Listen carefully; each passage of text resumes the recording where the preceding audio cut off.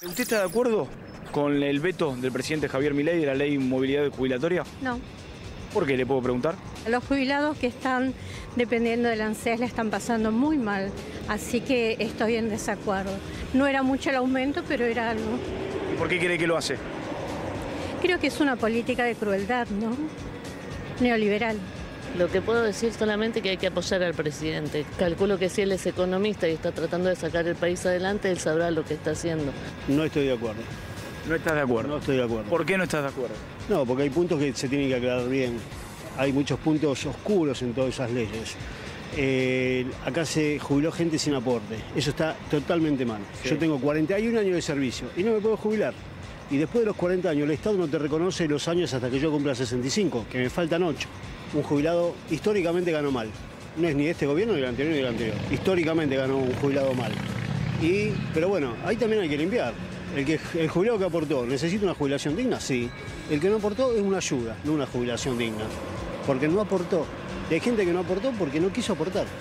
Por eso sigue habiendo trabajo en negro, el 54% de la gente que trabaja eh, lo hace sin aportes. Entonces, el ANSES siempre fue una caja negra que nunca va a tener un buen colchón de plata para repartir. No estoy de acuerdo con nada. ¿No está de acuerdo con nada? No, en nada. ¿Y por qué le veta la ley de movilidad jubilatoria? ¿Por qué con los jubilados? Primero porque es mala persona. Y después porque su ideal de país es destruir a la clase trabajadora. Se mete con tu viejo, con mi vieja, con los que laburaron y hicieron crecer este país. No. No, la verdad que no. ¿Por qué? La verdad es una tristeza, porque la verdad que estaba tan bien y bueno, ahora los jubilados pobres están tienen que andar haciendo ese quilombo ahí llorando, golpeándose y todo eso. No, No. no estoy de acuerdo. ¿Por qué? Cuénteme, que es Estoy importante. jubilada, pero pienso que, lo- que hay que darle más a los jubilados. Hay que darle más. Hay que darle más. Es muy poco lo que se ¿Y gana. por qué cree que lo hizo el presidente esto de vetar? La verdad que no lo entiendo. ¿Qué quiere que le diga? Ningún presidente nos quiso a los jubilados y este no es, no es menos. Bueno, en las mediciones de, audien- de audiencia, de, de opinión pública, de audiencia, de audiencia es una formación profesional. En las mediciones de opinión pública eh, empiezan a ver que el, lo- el veto a los jubilados, haber insistido en que no se le diera el aumento a los jubilados, fue el principio de una quiebra en la imagen positiva del presidente Milei. Y esto es lo que nosotros corroboramos incluso cuando salimos a la calle. Obviamente hay gente que todavía lo apoya, pero hay otros que empiezan a decir, che, no entendemos, no- nos parece injusto. ¿Ustedes lo vieron también esto? Buenas noches. Buenas noches, ¿qué tal Rolando? Sí, e- efectivamente fue uno de los motivos que se acumularon en el último tiempo que produjo una caída en la aceptación de gobierno. De, tal es así que en, en las encuestas nuestras cayó del orden de entre 50 y 52 que estaba a 44 puntos la calificación buena del Parece gobierno. que no es mucho, pero el problema es que cayó en un lapso muy corto para lo que venía sosteniendo. cayó en un lapso muy corto y esto también se ve reflejado acá, ¿no es cierto, Sheila? A ver, Sheila. Sí, sí, es una caída de 6-7 puntos. Bueno, venimos viendo semana tras semana que sigue bajando un poquito más. Y, y los temas de impacto fueron veto a jubilados, tarifas, que te digo que con tarifas hay un tema muy importante, muy, muy dramático. Hablábamos también de boleto, pero el tema tarifas entre adherentes aparece muy recurrentemente. Me vino mal la factura, ¿no? Digamos, o sea, Me viene mal- no puede ser. no pu- el no puede ser, esto está mal, se equivocaron. Y es algo que empezamos a escuchar en la investigación Quali, el tema de la equivocación, de que hay algo que está mal. Sí, el asunto es qué Eh, pasa con el correr de los meses cuando vean que no se equivocaron. Claro, o que, Que eso es lo que le van a o- o cobrar. si hacen el reclamo, le dicen, no, no, estaba bien. Entonces, ahí hay un, un tema, yo te diría, son los temas bolsillo principalmente, lo que, lo que te muestra un poco el, el Está bien, impacto pero el y poder adquisitivo se venía deteriorando ya en los meses anteriores, incluso a un nivel mayor con el pico inflacionario. Bueno. Sin embargo, pega con, con delay, pega con demora. Bueno, pegó Es ahora, acumulativo, ¿no? claro. Digamos, o sea, creo ¿Es que... acumulativo, si vos? Es acumulativo, claro. Eh, la gente, nosotros íbamos viendo a lo largo de los meses que la gente iba restringiendo cada vez más sus gastos para poder llegar a fin de mes. Y por otro lado, un grupo usaba ahorros, otro grupo se endeudaba, etc.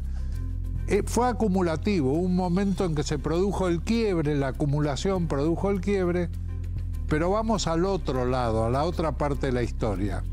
El gobierno sigue manteniendo un núcleo duro del orden de 40 puntos. Vos fijate que están muy o bastante de acuerdo con que el presidente haya vetado la ley 39,6. Claro, acá. Casi Sí. 40 puntos. Es, es un nivel Para importante. una medida impopular.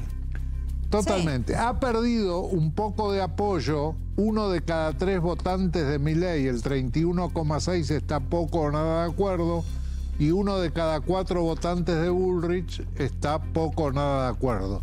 Todos los votantes de Massa sí. están en desacuerdo. O sea, pero igual para, Sí. para una época, eh, digamos, para un presidente que lleva ya cuánto, casi Diez meses. diez Diez meses.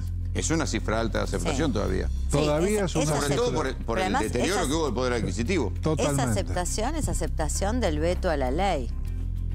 O sea, lo- y es lo que venimos viendo. O sea, hay ahí 37, 38, 36, depende que midas, 39, de acuerdo con casi cualquier iniciativa. O sea, es un acuerdo de adhesión. Sí, de, frente de adhesión a lo plena. otro, frente a lo claro, otro. es adhesión plena. Entonces lo que vos ves es, bueno, hoy están 43, 44, puede que baje un poco más, pero el piso de, de O adhesión. sea, hay gente que quiere seguir piso- esperando. Sí. Sí. Es verdad. Sí, y que ve, y que ve un, un- y que yo te diría, empieza a ver como elementos del cambio, ¿no? Entonces, están las dos cosas. Está el proceso de caída, pero también está ese núcleo duro que acompaña, sostiene, aguanta, adhiere, aplaude, banca, cree, ¿no? Digamos como. Sí, Sí, si y que no mira- tiene, porque digo, entre esta, entre este 40%, eh, debe haber gente que la está pasando mal también. Absolutamente. Totalmente, sí. Totalmente hay gente. Pero si vos te fijas en el índice de confianza en el gobierno que hace la Universidad de Itela, que le cae el, casi el 15% el índice de confianza respecto al mes anterior, que es el nivel de caída que se produjo en general, cae más en las mujeres que en los hombres, cae más en los mayores de 50 que en los menores. Ese no es el núcleo duro de mi ley. Claro. El núcleo duro de mi ley son menores de 30, hombres. Ahí no cae.